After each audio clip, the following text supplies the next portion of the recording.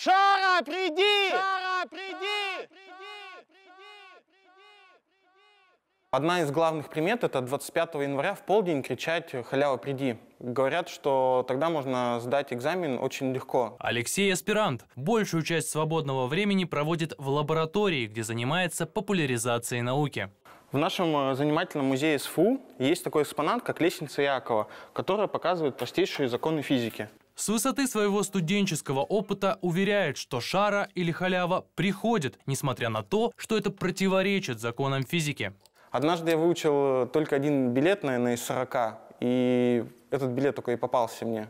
Поэтому как раз я, наверное, в этот день и кричал «Халява, приди!». В России дата 25 января по христианской традиции носит имя мученицы Татьяны. В этот же день, 263 года назад, императрица Елизавета Петровна основала Московский университет. Тогда и стали считать мученицу Татьяну покровительницей студентов и отмечать два праздника в одну дату. Почти за 300 лет празднования День студентов оброс своими традициями и обычаями.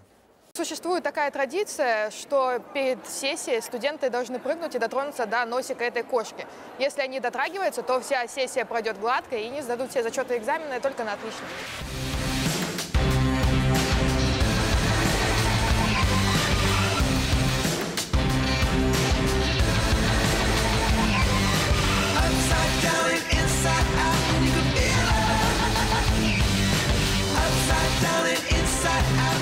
Настя планирует защитить диплом на отлично.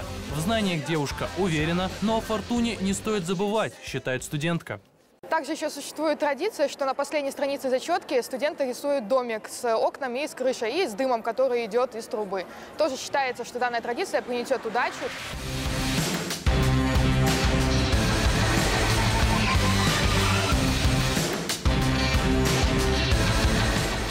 Скажите, существуют какие-то традиции или обычаи на День студентов? Не знаю. Нет? Никогда не слышал про такое. Под пятку пятачок класть. И голову не мыть. Помогает? Ну, нет. Голову надо мыть. Ну, зачеткой форточку помахать, знаю, да. И как? Помогает?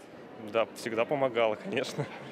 Поверили в студенческие приметы и заскучали по университету Дмитрий Дичков и Константин Фролов.